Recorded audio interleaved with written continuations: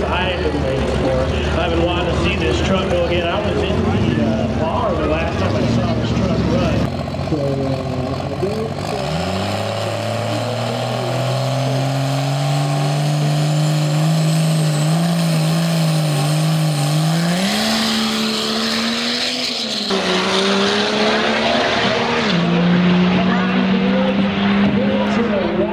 see if you can back up your tire and break the record. 974 and 142. That was a better pass than he made last time. So uh, not official yet, but I believe that he has broken the record. Hands together, Caleb. You now hold the track record for the fastest